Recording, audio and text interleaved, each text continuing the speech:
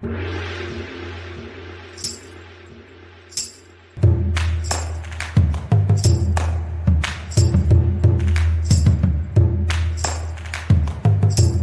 écoutez une émission originale pour KTB Radio appelée Contre-culture vue du Buèche. Cette émission est présentée par Scott Holmquist, chercheur et artiste, et a pour invité Paolo Stupia, docteur en sciences politiques. Aujourd'hui, voilà l'épisode pilote d'une série d'émissions intitulée pour le moment Contre-culture vue du Buèche. Titre de cet épisode Une révolution dans le jardin.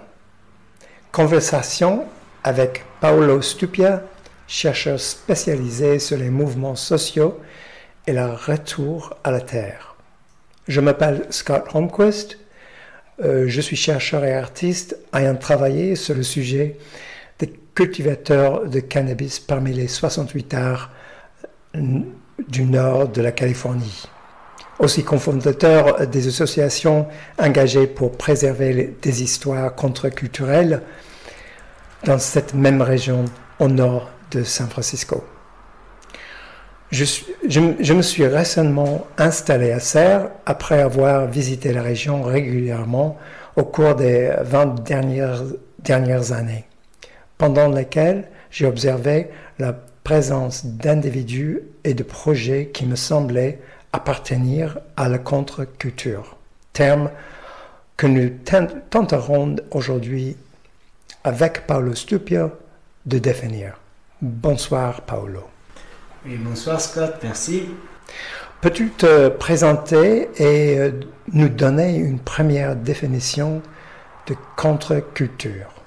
C'est beaucoup plus facile de se présenter que donner une première définition de contre-culture, étant donné euh, que le sujet est très vaste et il ne fait absolument pas consensus, euh, y compris au sein des, des universités.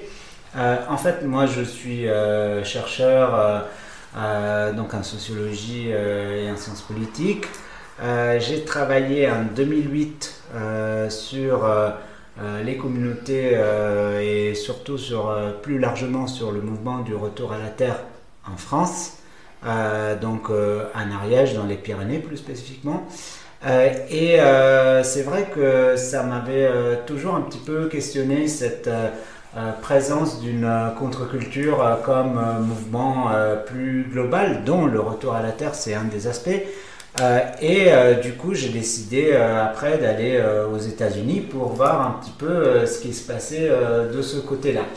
Et si je parle aujourd'hui des États-Unis, et c'est aussi par ce vecteur qu'on s'est rencontré, même si c'est de ce côté du monde, donc de cette partie du monde, c'est parce que euh, la contre-culture, elle a été euh, initialement euh, définie par... elle n'a pas été clairement définie, mais elle a été un petit peu popularisée par un chercheur et militant qui, s'appelait Théodore Ozak, donc dans un livre qui s'appelle Vers une contre-culture, qui est apparu à la fin des années 60. Ce chercheur, il décrit euh, une série euh, d'influences euh, et de représentations du monde, mais aussi d'influences mutuelles entre les, hippies, ce qu'on appelait les, hippies des, jeunes contestataires qui n'étaient pas, dans un premier temps, très intéressés par tout ce qui est aspect politique. et de l'autre côté, une série de personnes, d'étudiants notamment, euh, qui étaient euh, dans les politiques euh, radicales aux États-Unis. et notamment très gauchistes comme les étudiants de la New Left à Berkeley. et ce mélange, ça s'est fait inspiré à, leur tour par d'autres, par une série d'autres avant-gardes, alors que ce soit politique ou artistique. Par exemple, on, pourrait noter euh, l'influence des euh, mouvements de libération, des mouvements pacifistes aux États-Unis, euh, par exemple, dès, dès l'invasion de Cuba, contre le nucléaire, etc. Ça, c'est une influence un petit peu plus politique. Et des avant-gardes artistiques, littéraires, comme par exemple les, les beatniks ça c'est pour les, les, hippies. Et du coup, ces, ces jeunes se rencontrent au bout d'un moment. Ils ont une série d'interactions et tout cela contribue à populariser parmi des jeunes contestataires américains toute une, émergence de, styles de vie alternatifs, de spiritualité qui viennent on va dire, d'Asie, le mysticisme et bien sûr aussi les mouvements psychédéliques et musicaux des années 60. Et donc tout cela euh, va les amener à former quelque chose qui est un rejet euh, vraiment de la culture dominante et notamment de la culture des parents. Alors on pourrait euh, s'intéresser ici à ce que Herbert Marcuse, donc le philosophe Herbert Marcuse, appelait le, le, grand refus. Hein. et c'est euh, le refus euh, d'une série de dominations sur tous les plans, que ça soit familial, que ça soit sexuel, que ça soit euh, dans, dans, la vie de tous les jours, un rejet du travail comme production juste capitaliste, etc. Donc tout cela se, fond et crée un bouillonnement, en tout cas, qu'on pourrait décrire contre-culturel. Alors, en France, c'est peut-être aussi influencé à la fois par la circulation internationale de toutes ces contre-cultures avec euh, des éléments euh, très connus, par exemple euh, l'arrivée du, du, rock, de, de, la musique, de styles vestimentaires alternatifs, etc. mais aussi mélangé à des éléments beaucoup plus français. Par exemple, on pourrait noter donc la contre-culture en France, on pourrait dire que ça se crée autour de 68 euh, tu as parlé euh, tout à l'heure de 68 arts, donc euh, ça serait vraiment un petit peu autour de 68 et c'est inspiré aussi par d'autres avant-gardes en France. Ça se mélange aussi avec l'histoire d'autres avant-gardes, que ce soit politique comme par exemple les situationnistes ou que ce soit par exemple sur le plan littéraire avec l'importance des, surréalistes, etc. Bon, et tout ça, ça, ça, contribue à créer vraiment ce, ce bouillonnement euh, qui se décline en une série de mouvements, une série de manifestations du rejet. Et euh, ces manifestations du rejet euh, vont bien sûr de retour à la Terre, sur lequel peut-être on parlera un petit peu plus après, mais aussi par exemple des manifestations de rejet de l'ordre familial. Et la subordination à l'ordre familial traditionnel prend la forme plus de vie communautaire, que ce soit un appartement ou à la campagne. Après, euh, on a le rejet euh, des rapports, euh, par exemple, de genre traditionnels, avec l'émergence de, des mouvements LGBT et de toutes les questions liées au genre, mais aussi le rejet de la domination femme, avec le, le, féminisme, etc. Et tout ça, ça peut être inclus euh, dans ce qu'on pourrait euh, définir un petit peu la contre-culture, mais c'est plutôt euh, la chose qui me paraît intéressante, c'est que c'est plutôt des contre-cultures en fait. Mhm. Et à tous les plans, hein, même au plan musical, il y a une évolution quand même de, du, du, rock des origines à d'autres formes d'avant-garde musicale beaucoup plus larges. Donc c'est peut-être pas la même chose d'avoir euh, une, euh, des, des, des, sous, alors on appelle ça aussi euh, des sous-cultures parfois, bon, c'est un terme un peu disprégiatif, et, et, et, pour tout avouer, c'est quand même problématique de définir la contre-culture comme une sous-culture, parce que la sous-culture, elle peut avoir des compatibilités avec le mainstream, alors que la contre-culture, elle se définit en opposition au mainstream. Après, ça, c'est des, éléments très théoriques, mais bon, euh, ce que je voulais dire, c'est que euh, on a par exemple aussi euh, le, jazz, le free jazz qui émerge, on a le rock progressif, on a une évolution vers le punk. Tout ça, ça crée aussi une myriade de, de, de, sous-cultures qui sont après inclus dans cette contre-culture, plus ou moins progressivement, par des détours, par des chemins de travers, etc. Donc voilà, ça c'était c'était une première réponse un peu longue, mais... Oui, euh, non, c'est parfait, c'était pas trop long. Euh, Est-ce que tu pourrais un peu discuter ou décrire l'enchaînement d'engagement scolaire, l'engagement d'intérêt en France sur ce sujet de contre-culture à partir des années 70 au présent? Oui, alors euh, c'est bon, on va on va faire euh, une chose un petit peu sans, être trop scolaire, mais en deux parties.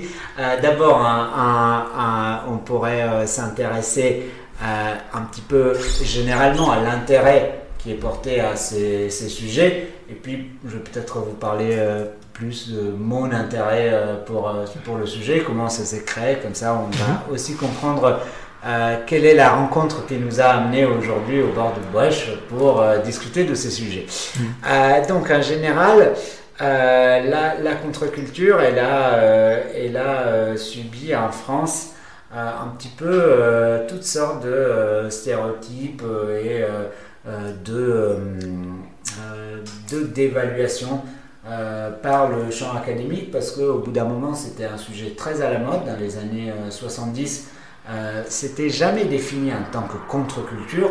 En tout cas, on connaissait l'existence des, euh, euh, des, travaux américains. Il y a eu peut-être quelques travaux qui insistaient sur un gauchisme contre-culturel ou quelque chose comme ça. Mais en tout cas, c'était toujours défini en opposition avec, par exemple, le gauchisme politique d'après 68 dans ses travaux. Et donc euh, l'idée, la thèse, c'était que bon, ben, après euh, un certain, une certaine période d'engagement profond, euh, après 68, bah, on aurait tout laissé tomber pour aller à la campagne, faire des communautés, et fumer des chilums, et écouter de la bonne musique, et vivre nu au bord de la rivière. Bon, ça c'est une représentation très stéréotypée qui va avec euh, d'autres représentations stéréotypées qui sont euh, produites autour de la contre-culture et en France et aux États-Unis, par exemple celle des hippies euh, yappies, par exemple aux États-Unis, ou en France on dirait plus du col, du col Mao Rotary, pour décrire aussi un certain nombre de parcours, effectivement, qui sont constatables de désengagement euh, progressif d'anciens euh, leaders de la contestation étudiante, etc. En réalité, si on élargit un petit peu le sujet à d'autres mouvements inclus dans cette euh, contre-culture, on peut voir déjà que c'est assez vaste, que les profils ne correspondent pas toujours, que l'État a quand même essayé de réprimer très largement et aux États-Unis et en France tous ces mouvements, y compris les infiltrant euh, et y compris les, mouvements euh, un petit peu euh, moins, on peut dire, politisés, plus qu'il y avait d'autres intérêts. et on peut voir aussi qu'il y a des persistances, des choses qui n'ont pas failli, des choses qui ont plutôt réussi, des pans entiers de contre-culture qui aujourd'hui sont devenus un petit peu paradoxalement, mais euh, sont rentrés un petit peu dans le mainstream. Par exemple, on parlait euh, de, tout à l'heure du mouvement LGBT. Bon, c'est quelque chose qui naît aussi avec un certain contexte euh, aux États-Unis et en France, et voilà, qui est très lié aux conséquences de ce qu'on pourrait appeler mai 68. Mais aujourd'hui, c'est quand même des revendications euh, tout à fait euh, légitime. Il y a des lois, il y a des lois même qui punissent euh, l'homophobie, etc. Donc ça, c'est, c'est peut-être une, une, des aspects qu'on retrouve aussi aux États-Unis avec, avec un certain nombre d'autres...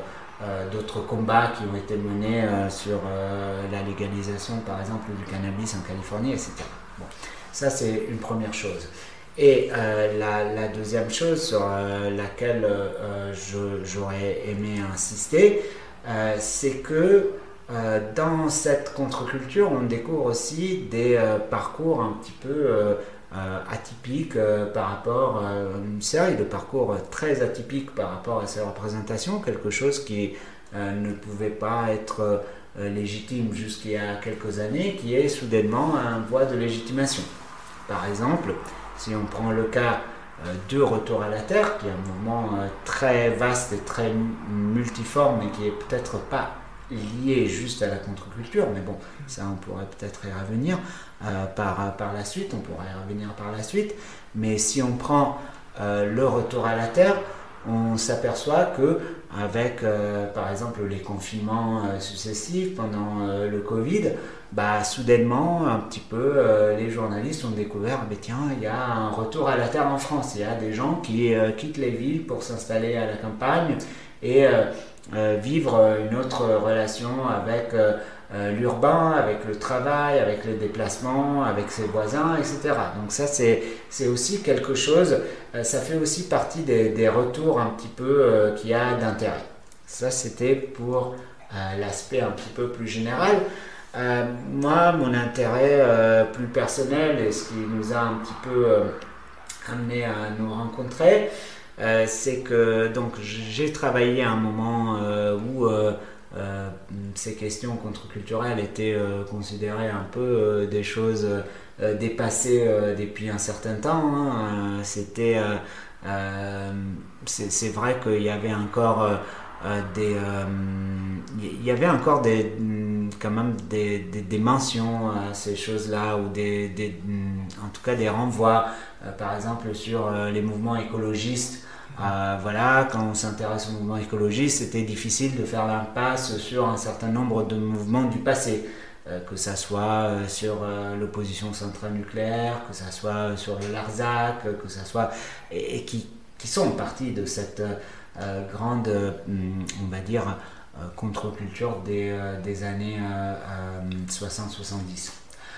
mais c'est vrai que le sujet était un petit peu considéré dépassé, notamment sur le retour à la Terre et l'aspect qui m'intéressait le plus dans ce cadre de retour à la Terre, c'était euh, les communautés et les éco-villages, donc ces formes d'habitat collectif en milieu rural. Euh, et euh, du coup, on était très peu de chercheurs à travailler sur, sur la question. et c'était quand, quand tu t'intéressais C'était en 2007, 2008. Et après, progressivement, on voit aujourd'hui, par exemple, avec euh, le mouvement décrit précédemment sur, euh, sur le Covid, qu'il y a de plus en plus de chercheurs qui s'y réintéressent. Et bon, comme je disais au début de l'émission, euh, j'avais envie, après avoir travaillé sur les Pyrénées pendant un certain nombre d'années, après avoir saisi un petit peu ce qui s'était passé en France, de voir ce qui s'était passé aux États-Unis, là où pas tout avait commencé, mais une grande partie de, ce mouvement avait commencé. Et euh, bon, ben, euh, du coup, euh, j'ai été amené à explorer un petit peu la Californie du Nord, d'abord San Francisco et puis la Californie du Nord. il se trouve en 2018 que j'ai eu un collègue à l'université de Stanford qui m'a invité pour parler justement du mouvement de retour à la Terre en France après mai 68, dans le cadre du 50e anniversaire de 68. Et j'ai pu euh, euh, rencontrer lors de cette euh, visite, de cette première visite aux États-Unis, une personne qui fait partie d'un groupe un petit peu particulier au sein du mouvement hippie aux États-Unis. C'était les Diggers. Et justement, les Diggers, c'était un petit peu les prêtres ouvriers euh, du, du, du, mouvement hippie, on les appelait comme ça, parce que c'était des gens qui mettaient un petit peu en relation différentes euh, branches contestataires euh, de, de, de, San Francisco et des alentours, les gauchistes de Berkeley, les Black Panthers à Oakland, mais aussi les hippies de Haight-Ashbury. Et en plus, ils fournissaient un certain nombre, ils fournissaient un cadre de référence fondé sur une liberté absolue, mais aussi sur la gratuité. Ça, c'est le double sens du mot free euh, en anglais. Et du coup, il, euh, fournissait euh, de, de, de, la nourriture gratuite, de l'hébergement gratuit, etc. mais aussi, voilà, ils ont contribué à la rencontre de tous ces gens et à ce que cette contre-culture s'efface. Et certains diggers après la fin, un petit peu, le déclin un petit peu du mouvement hippie, euh, sont partis de plus en plus au nord euh, de la Californie pour vivre euh, individuellement ou en collectif. Et j'ai atterri dans une petite région grâce à cette personne que j'ai connue à San Francisco, qui aujourd'hui est encore à la tête d'une fondation qui s'occupe d'écologie et notamment de ce qu'on appelle le biorégionalisme. On va peut-être revenir après sur ce concept. Mais on a atterri dans une région qui doit être à 300 km, je crois, ou 400 km au nord de San Francisco, qui est le comté de Humboldt. Et là, on a parlé avec, on a, j'ai interviewé deux personnes qui étaient du coup à San Francisco à cette époque. Et c'est pour la première fois, j'ai vu sur leur table ton livre. Euh, que tu as fait euh, ton livre à toi. Euh, de, de, recherche sur les cultivateurs de cannabis de Californie du Nord, etc. Mais on ne se connaissait pas encore. Hmm. Et on s'est, on s'est rencontrés un petit peu plus tard dans le cadre de, de nos recherches communes, voilà, par des lectures et par des connaissances communes, on va dire. Oui, ouais, c'est comme je te disais, c'était même chez Jane Lapina et David Simpson que j'ai repris le sujet après plusieurs années euh, euh, de travail. Euh, ma décision a été prise de, revoir les sujets pour justement mettre en valeur certaines choses que, que, je trouvais négligées, même, par les, même pas compris par les gens qui ont, qui ont fait cette histoire dans cet endroit. Mm-hmm. Mais euh, il me semble que tu, es arrivé à, rencontrer euh, David et Jane euh, par la voie d'un film. Oh, oui, ça, ça, ça j'avais oublié cette partie. alors, en fait, j'ai été, oui, je les ai rencontrés parce qu'il y a un film sur les Diggers de San Francisco, un documentaire euh, d'une réalisatrice euh, française euh, qui s'appelle Les Diggers de San Francisco. Je pense qu'elle est disponible facilement en ligne. Et dans ce documentaire, on voit toutes ces personnes et on voit leur évolution un petit peu de la vie urbaine. aux premiers questionnements qui sont remis en cause aussi du, du, mouvement lui-même et de dire euh, bon, euh, là, dans les villes, euh, on a fait un petit peu un bout de chemin pour certains. On va s'interroger sur le sens du lieu, on va s'interroger sur qui on est, on va s'interroger un petit peu sur comment on peut améliorer ce monde à partir des questions locales, à partir de la préservation de l'environnement, etc. Et du coup, bah, ça, créé ce, ce, mouvement écologiste qui est partie de l'écologie radicale qu'on appelle le biorégionalisme aux États-Unis. Et euh, David et Jane, c'est deux personnes euh, qui sont installées euh, San au nord de San Francisco, donc dans la vallée du, Matol. c'est vrai que eux, ils, ont, ils sont arrivés après donc le, mouvement hippie à San Francisco, après le Summer of Love, et ils ont contribué à restaurer euh, les dégâts qui avaient été euh, produits dans cette vallée par euh, des années de sédimentation de la rivière, et notamment par le biais de la réintroduction du saumon, mais aussi par le biais d'une prise de conscience un petit peu qu'ils ont réussi à faire passer à la communauté locale juste à fonder des, des, premiers conseils de l'un des premiers conseils de bassin versant. Euh, qu'on appelle euh, le. Euh, the Metal Restoration Council. Mhm. Mhm. Exactement. Oui. Tu, as commencé à décrire un peu le, cette augmentation d'intérêt sur le sujet. Est-ce que tu peux le décrire un peu plus précisément? C'est-à-dire, quand tu as commencé, il y avait, avait d'autres collègues, combien à peu près et, euh, actuellement? Oui, alors euh, à, ma connaissance, ça, ça, ça ne concerne euh, hmm, ça ne concerne plus spécifiquement que le retour, le retour à la terre. Donc ce, ce, mouvement quand même qui est là aussi multiforme parce qu'il n'est pas juste lié à la contre-culture, mais il y a eu de multiples retours à la terre. Mais bon, dans le cadre, on va dire, de, de, de, de 68, ce qu'on appelait en France le retour à la terre, c'était un petit peu les communautés et puis les personnes qui sont installées. Euh, euh, d'ailleurs, euh, il y, a, une des régions les plus investies, un des deux des départements les plus investis, ils sont autour, autour des Hautes-Alpes, hein. c'est l'Ardèche, la Drôme, et puis dans les Pyrénées, etc.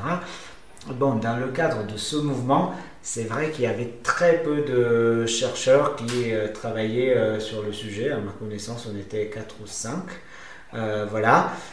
Et ça, c'est bien avant que la question de, de, retour à la Terre pour vivre quelque chose d'autre ici et maintenant et pour euh, aussi pratiquer une certaine exemplarité, même si, encore une fois, il y a des gens qui sont revenus à la Terre pour d'autres raisons, hein, pour euh, euh, des raisons d'échapper à, une vie trop rude ou parce que les, les anglo-saxons appellent les amenity migration, c'est-à-dire les, migrations pour le, pour le paysage, pour, pour avoir un cadre de vie confortable, etc. Bon, mais c'est vrai que cette, euh, cette, histoire de retour à la Terre, elle a été un petit peu relancée par euh, plusieurs... Euh, c'était une histoire complètement encore méconnue et ça a été un petit peu relancé par une série d'émergences, une série de préoccupations. Alors que ce soit des préoccupations environnementales, par exemple avec tout ce qui est réchauffement climatique, euh, etc. Euh, mais aussi euh, par rapport à, par exemple, aux ZAD. dans les ZAD, on voit que bon, ben, il y a une question aussi de retourner sur un site pour faire d'autres choses, faire du jardin, cultiver, habiter, vivre autrement, quelque chose vraiment ici et maintenant. et donner aussi l'exemple, donner l'exemple d'une société plus harmonieuse politiser aussi le moindre petit geste. Ça, c'est une collègue euh, qui s'appelle Geneviève Prouveau euh, qui a cette, euh, cette, idée dans les AD de la politisation du moindre geste, que ce soit faire la vaisselle, que ce soit... Bon, tout ça, c'est des choses qui sont héritières, vraiment, de, des, des, mouvements un petit peu contre-culturels des années 60-70. Et puis, c'est vrai qu'avec les confinements et avec le Covid, euh, il y a eu une très grande euh, vague de départ des villes euh, pour échapper aux conditions matérielles. Et si on ajoute à cela tout ce que je décrivais précédemment, c'est-à-dire les ZAD, mais aussi des personnes qui fuient les villes, par exemple pour des questions très écologistes liées à des, des craintes d'effondrement, de, euh, d'accélération de réchauffement climatique, c'est vrai que ça a remis un petit peu à l'honneur euh, ce, sujet qui semblait un petit peu euh, marginal pendant un certain nombre d'années. Et avec le, après le confinement, par exemple, j'ai pu participer à, un colloque sur le retour à la Terre où il y avait plusieurs il y avait une centaine de participants, euh, ce que euh, entre en ligne et euh, en présence, ce qui pour les universités est un très bon score. Mais aussi, par exemple, il y a eu récemment, l'année dernière, une rencontre nationale de retour à la Terre, voilà, qui s'est tenue à, Clermont-Ferrand avec différentes associations, différents acteurs locaux, collectivités. Mais c'est plus peut-être là un autre notre phénomène, un nouveau retour à la Terre, une nouvelle vague, un petit peu euh, moins politisée, un petit peu euh, plus liée euh, à des conditions matérielles d'existence, aussi à la volonté d'avoir un cadre de vie plus agréable que dans les villes comme conséquence du, confinement, etc. Ça c'est quelque chose. Mais par là, je veux dire qu'un retour à la terre, quand même, ça a toujours existé, hein, depuis euh, qu'il existe l'industrialisation, donc une urbanisation, un, appel vers les villes. Il y a toujours eu des tentatives plus ou moins euh, euh, marquées de résistance. Après, il y a eu des exodes ruraux en France et aux États-Unis très probablement, mais qui ont fait que la plupart des populations venaient vers les villes. Bon, ça, par exemple, en France, a créé une grande disponibilité euh, de terrain, une population vieillissante, notamment après, après la guerre. Alors, il y a eu quelques tentatives euh, de, euh, très précoces de mettre en place des expériences de, vie, que ce soit de vie en commun ou de vie individuelle, plus à la campagne dans la nature. mais il y a eu aussi une très grande disponibilité de terrain, de friches, notamment sur ce qu'on appelle la diagonale du vide, et donc, donc qui va plus ou moins des Ardennes du nord-est de la France au sud-ouest. Et du coup, c'est vrai que bah, les premières personnes qui sont arrivées pour s'installer euh, après, euh, dans les années 68, en fait, ils ont pu bénéficier aussi euh, d'un prêt de l'immobilier très bas, ils ont pu bénéficier d'un certain nombre d'une très grande disponibilité, parfois de, de terrain qui suffisait un petit peu de relabourer parce que c'était pas si ancien, mais parfois il a fallu aussi combattre avec voilà, la, forêt qui s'était installée depuis plusieurs dizaines d'années, etc. oui. ça. En, parlant de. Là, en lisant tes textes, tes, articles, j'étais étonné de découvrir comment il y a des vagues qui sont assez récentes et que ils sont assez spécifiques, liés à même les mouvements de musique, de, jeunesse, etc. Comme, si tu peux décrire un peu le, euh, l'enchaînement de ces, ces, ces, vagues. Alors, euh, hmm, du, coup, il y a, y a, eu euh, plusieurs différents retours à la Terre, on va dire, mais dans certains endroits, ça c'est l'idée de vague, en fait, elle a été développée un petit peu en parallèle par une collègue qui s'appelle Catherine Roubière qui a travaillé sur l'Ardèche et par moi-même alors qu'on ne se connaissait pas, on n'avait pas échangé de, de, mails, mais bon, euh, moi je, euh, je crois que elle, elle, avait même pas lu mon, mémoire en 2008, donc c'est vraiment quelque chose qui est à la fois une, coïncidence et à la fois ça conforte un peu dans l'idée que les personnes du terrain pensaient un petit peu la même chose. Donc elle, a travaillé sur l'Ardèche, elle a vu euh, plusieurs euh, vagues de, retour à la Terre. Donc une première vague avec des grandes communautés, puis une vague de personnes qui s'installent plus individuellement, puis une vague de personnes un petit peu euh, paupérisées, etc. dans les années 80-90 qui liaient plus le retour à la Terre à des conditions d'existence matérielle. Et puis elle décrit une vague un petit peu altermondialiste autour des années 2000. En Ariège, hum, pendant euh, mon enquête, j'ai eu un petit peu les mêmes retours avec peut-être l'ajout de, quelques vagues, euh, entre guillemets, intermédiaires ou de quelques précisions euh, par rapport peut-être au lieu aussi, hein, ça je ne sais pas. Donc en gros, effectivement, immédiatement après mai 68, il y a eu une première vague de retour à la Terre qui s'installe plus du côté de Foix que de Saint-Giron, qui deviendra plus tard l'épicentre un petit peu euh, du mouvement en Ariège. Euh, et euh, les, collines vers, Toulouse, etc. Bon, mais ça, c'est une partie vraiment dans les montagnes autour de Foix. Et là, c'est une vague plutôt de vie en commun, c'est une vague plutôt communautaire.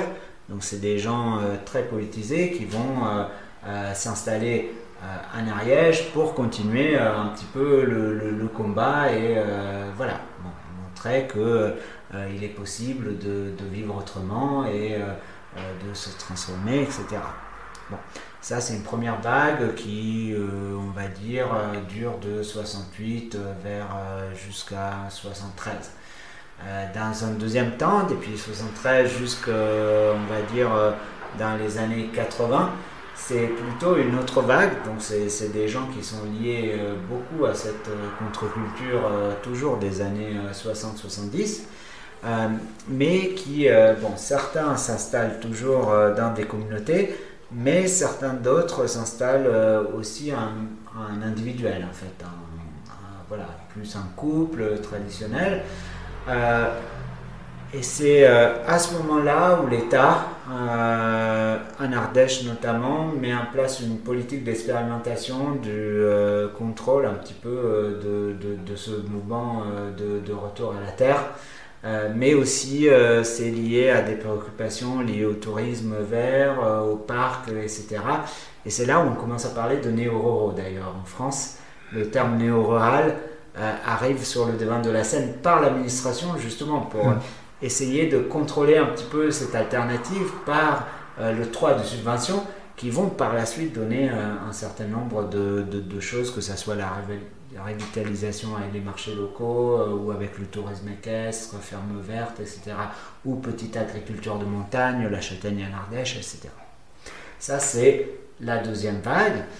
Et après, il arrive plus dans les Pyrénées une vague de personnes effectivement euh, paupérisées, mais qui sont plus liées au mouvement punk. Et puis, euh, ça, ça, ça atterrit dans les années 90 euh, des personnes qui sont plus liées à la culture des travelers, donc de rave party. et ces, ces vagues-là sont très actives. Et puis, il y a une vague aussi très liée à tout, tout toutes les questions altermondialistes qui émergent au début des années 2000. Et ces vagues s'installent un peu partout ou euh, est-ce qu'ils ont localisé euh, ce, vague, ce dernier vague? Alors, euh, il y, a, y, a, une organisation, oui et non, c'est-à-dire qu'il y a une interconnaissance plus ou moins de, de, personnes qui sont dans, dans, dans les mêmes sous-cultures, on va dire, dans les mêmes mm. cultures musicales, etc. Mais parfois, il y a des mélanges. Il y a des mélanges qui se font, euh, y compris avec euh, la population locale, à différents euh, degrés, à différentes échelles. C'est vrai qu'il y a aussi une autre chose intéressante à remarquer, c'est que souvent, il y a une conflictualité qui au départ était très marquée, que ça s'est un petit peu estompé.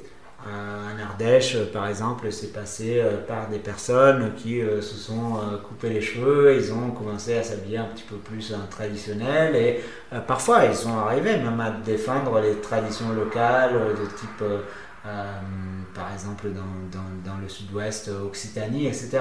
Bon, en Ariège, il y a un petit peu moins ça, mais il y a un petit peu plus euh, un aspect de conflictualité euh, qui, se développe euh, jusque dans les années 80-90. mais ensuite, il y a aussi aujourd'hui des, mélanges. Il y a des personnes qui sont issues de ce mouvement du retour à la Terre aussi, qui, ne peuvent plus être considérées comme étant une nouvelle vague de retour à la Terre, mais qui sont les enfants de ces premiers. Et euh, les enfants, souvent, se sont côtoyés euh, bon, ben, sur les bancs d'école euh, ou dans les aires de jeu, etc. Bon, du, du, coup, c'est vrai que cette conflictualité initiale, elle, elle, va un petit peu s'estomper au fil des années, si bien que à un moment donné, à Ardèche, il y avait une grosse peur celle de la prise des mairies par les néo parce qu'on disait ah ils vont nous supplanter euh, la population locale, prendre des mairies. Bon, en Ariège, ça a été un petit peu euh, plus, euh, par exemple, plus tardif, la prise des mairies. Aujourd'hui, il y a des mairies qui sont élues par des néo-ruraux, mais est-ce qu'après 40 ans, on peut encore être considéré comme un nouveau habitant dans, dans, le pays, etc. Bon, et il y a un maintien pour une partie de cette population d'une culture un petit peu alternative à plusieurs, à plusieurs niveaux. Ça, c'est...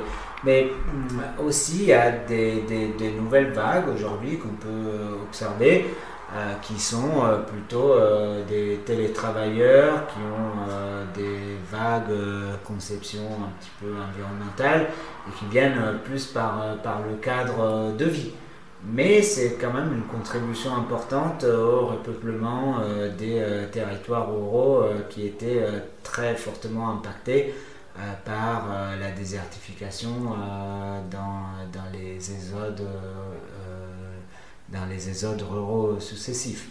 Donc mhm. ça c'est, quelque chose qui, qui me paraît intéressant à observer. Oui.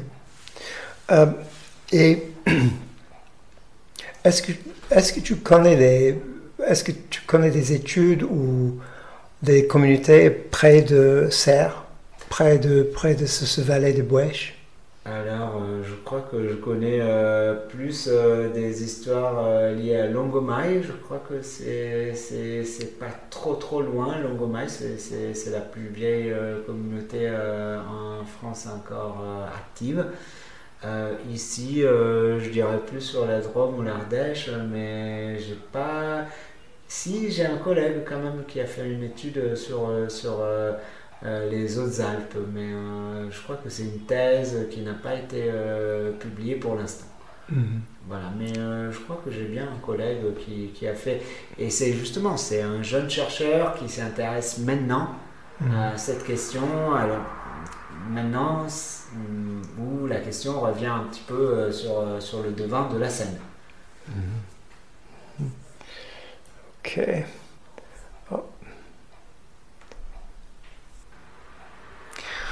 Euh, par hasard, c'était bien dans un train euh, en route euh, vers Serres que on a, on a parlé pour la première fois.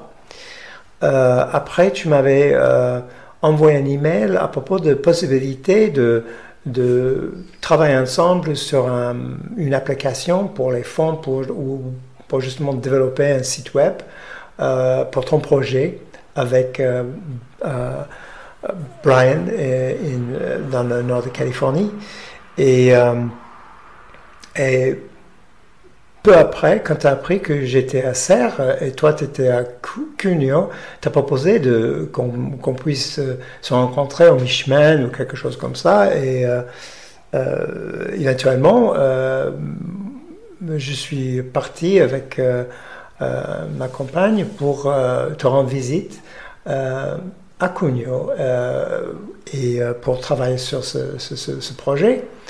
Euh, et en fait, j'aimerais que tu parlais, si, tu puis, puisses parler de, de ces projets, ce projet que tu, es en train, que tu as commencé en, Californie.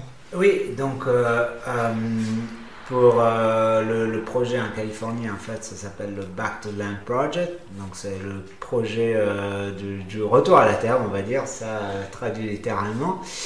C'est un projet que j'ai commencé donc un an après avoir visité pour la première fois les États-Unis avec l'un des fondateurs de plusieurs expériences de retour à la Terre en Californie du Nord et en Oregon. Euh, euh, qui s'appelle Brian Hill et qui est aussi euh, anthropologue et qui aujourd'hui a 82 ans. Et du coup, il nous a semblé important d'essayer de préserver cette, cette, histoire de retour à la Terre aux États-Unis et de pouvoir, pour moi, la découvrir un petit peu en sa compagnie. Donc j'ai eu un guide un petit peu déception jusqu'à aujourd'hui.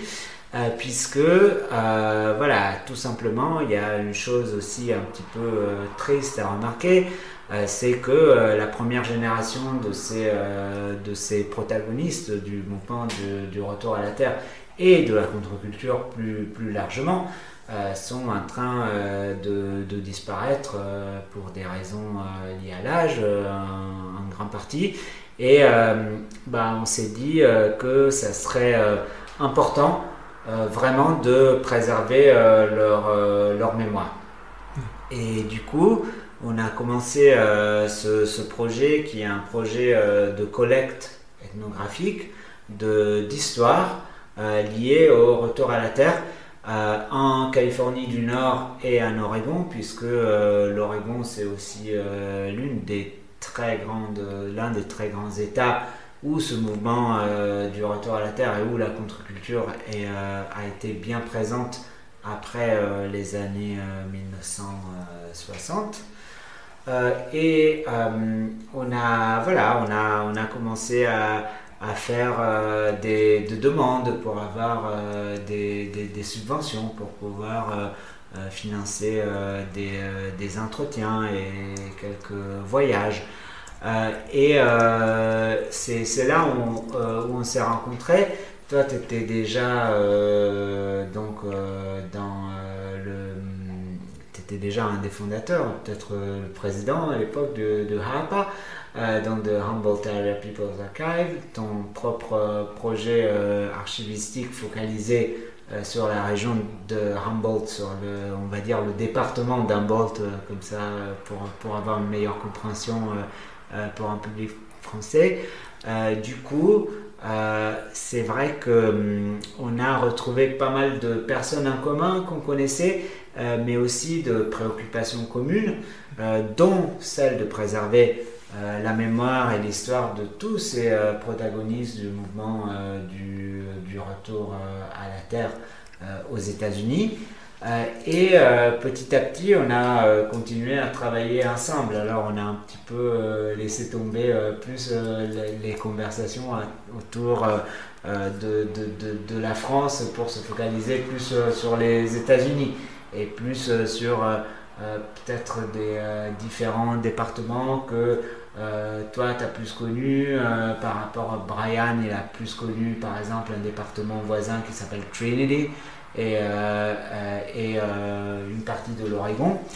Et petit à petit, on s'est rendu compte de la nécessité de réunir autour d'une table toute une série de personnes qui s'intéressaient au même sujet, qui avaient différentes affiliations, que ce soit académique, non académique, que ce soit des personnes qui ont par exemple des, des collections, des collectes archivistiques. Et euh, l'année euh, dernière, en 2022, on a formé une coalition euh, qui s'appelle la coalition, la Counterculture History Coalition, qui est la coalition de, pour la préservation de la contre-culture. Et cette coalition elle réunit différents projets de, de, recherche, un petit peu de Eugene, qui est au milieu de l'Oregon, euh, jusqu'à San Francisco et ses alentours.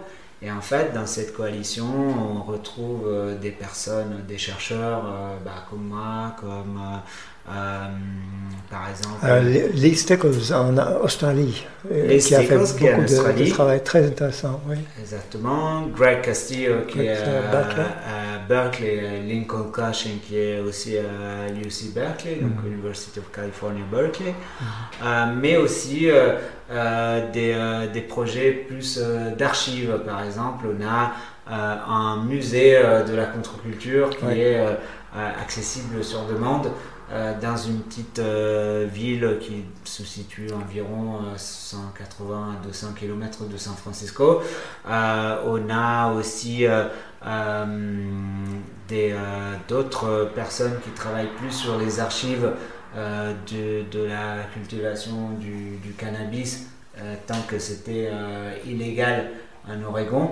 Mm. Euh, on a une photographe qui a vécu euh, dans une euh, ferme communautaire en Oregon qui est Alpha Farm et qui continue à vivre dans un village qui s'appelle Dadwood, qui est un petit peu un, centre névralgique un petit peu de la contre-culture en Oregon encore aujourd'hui parce qu'il y a plusieurs communautés mais aussi plusieurs individus installés euh, là depuis euh, les années 60 et il y a des jeunes qui continuent d'arriver, donc c'est un mélange aussi euh, de, générations.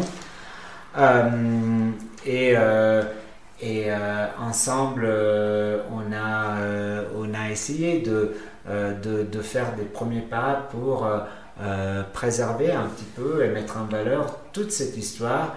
Alors, ça, c'est dans une région spécifique, dans le, nord-ouest du, Pacifique, donc euh, la côte ouest des États-Unis, euh, versant nord, on va dire, euh, mais qui, qui est intéressante aussi parce qu'il y a une série de spécialités, il y a une multitude de, de, personnes qui vont pouvoir participer à cette, à cette coalition. Et c'est autour de euh, on, a, voilà, on a plusieurs projets. On a déjà fait, euh, par exemple, une exposition euh, dans un musée sur des différents aspects de la contre-culture qui vont du cannabis au mouvement de contestation dans les universités. Et tu étais pour présenter, en fait Oui, j'étais pour présenter en compagnie de deux autres personnes qui font partie de la coalition. L'une Nicole Riggs, qui est dans ton euh, groupe de chercheurs à HAPA. Mhm. Donc, il a parlé, elle, d'un réseau euh, de petits euh, agriculteurs et cultivateurs qui sont réunis en un collectif aujourd'hui. Donc, ce qui montre quand même que cette contre-culture est bien présente et bien vivante. Et Richard Jurgensen, qui est le propriétaire de ce musée un petit peu de la contre-culture et qui a fait un travail de plus de 40 ans de, de, collecte d'objets, d'affiches, de, films, de mhm. disques, tous liés à, la contre-culture avec peut-être plus spécifiquement un intérêt pour, pour le, le cannabis et le mouvement de mhm. légalisation mais qui inclut euh, toute une série euh, d'écrits euh, politiques, par exemple, de tracts, de journaux. Mm. voilà, et du coup, on a fait cet événement. Ça, c'est un exemple d'événement qu'on a créé un petit peu aux États-Unis. On a aussi été partenaire d'un événement qui s'est tenu à Humboldt, donc dans, dans, le comté de Humboldt, il, y a, il y a un mois à peu près. Euh, qui était euh, sur la préservation de la contre-culture locale, avec euh, là encore des activistes de différentes, de, avec différents intérêts, que ce soit cannabis, que ce soit par exemple pour des soins gratuits en zone rurale, etc. ou euh, que ce soit pour les droits des minorités euh, aujourd'hui euh, aujourd'hui dans, dans, ce, dans ce département. mais on a aussi un projet de faire des, des, rencontres plus en France, par exemple. on va être partenaire d'une rencontre tournée autour de biorégionalisme. Et, et, qui sont les partenaires en France? Alors en France, euh, on a l'Institut Momentum, euh, on a une revue qui s'appelle Topophile et les éditions Wild Project de Marseille. et d'autres éditions, par exemple les éditions, je crois que ça s'appelle Hétérotopia à, à, Paris, plus des personnes qui sont dans, dans l'université, je pense Mathias Rollo, euh, mais euh, il y a aussi Thierry Paco, euh, des, personnes qui sont engagées un petit peu à différents niveaux. Et c'est autour de cette notion de biorégionalisme qui, comme on a un petit peu évoqué la question au début, c'est une notion, donc c'est une, comment dire, une branche un petit peu de l'écologie radicale qui va s'appuyer un petit peu sur le sens d'une place et surtout euh, sur euh, le sens d'un bassin versant, donc d'appartenir à un certain micro-écosystème qu'il faut soit préserver, soit restaurer euh, pour pouvoir vivre sur place et réhabiter de façon écologiquement harmonieuse. Et c'est une notion qui fait écho à une série de combats euh, environnementaux euh, qui, qui, se développent ou qui se sont développés en France ces dernières années. On a déjà parlé des ZAD, mais par exemple autour de la question de l'eau, notamment euh, en ce moment avec toute l'actualité de Saint-Soline, et puis d'autres aussi d'autres batailles qui sont nécessaires à mener. et, et, ne pas laisser à l'extrême droite, par exemple, la question du, de la production locale. Hein, mm. Parce qu'avec euh, tout, tout, ce qui est euh, réchauffement climatique, etc., il y a aussi une nécessaire relocalisation de nos luttes, de nos modes de production, de consommation, etc. Et cette notion, ce qui est intéressant, c'est que c'est une notion qui aux États-Unis a une histoire de presque plus de 50 ans maintenant.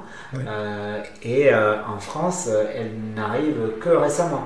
Mais il y a une, explosion d'intérêt en fait. Et, euh, l'idée, une, une, idée de, de ce, ce, conférence ou des conférences qui vont, qui vont être issues de, de les gens que tu viens de, ou les projets que tu viens de énumérer. Euh, ça va, vous allez inviter euh, les fondateurs de, ce, mouvement. Et oui, alors euh, ce, qui est, intéressant, c'est qu'on revient un petit peu à la case départ. Parce que euh, on va inviter euh, donc qui, est, qui était l'une des diggers de San Francisco et qui préside depuis 50 ans, qui a cofondé avec son mari, qui a malheureusement disparu il y a quelques années, Peter Berg, euh, la Planet Run Foundation à San Francisco. Euh, c'est une fondation euh, biorégionaliste pour la défense justement des bassins versants et la restauration des écosystèmes. Donc elle, elle va venir nous parler un petit peu de son expérience en Californie, tout en restant dans une ville, mais quand même très connectée avec les zones rurales.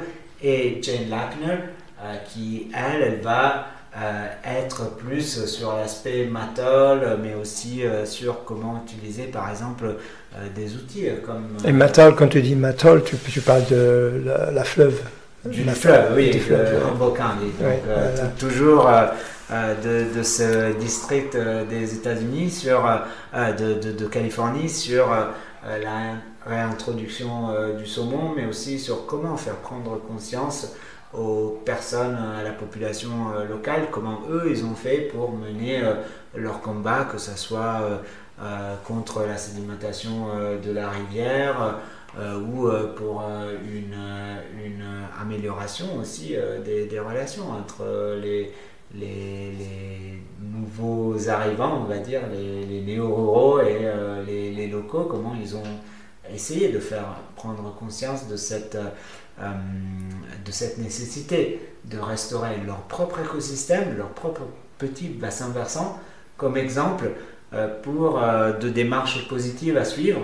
Et ensuite, chacun peut faire comme, comme il l'entend. Donc là, c'est un petit peu un retour au départ, puisque au départ, c'est moi qui ai été accueilli aux États-Unis. Là, ça va être l'inverse. C'est nous qu'on va héberger un petit peu et accueillir ces, ces, personnes en France. Ouais, mais je crois que c'est un bon endroit d'arrêter. On a, on a déjà dépassé notre temps. Euh, merci beaucoup, Paolo Stupia, pour la, conversation. Euh, longue vie aux conversations euh, à la contre-culture vue du Bush. oui, de KTB, Radio Libre. Exactement. Bonne continuation.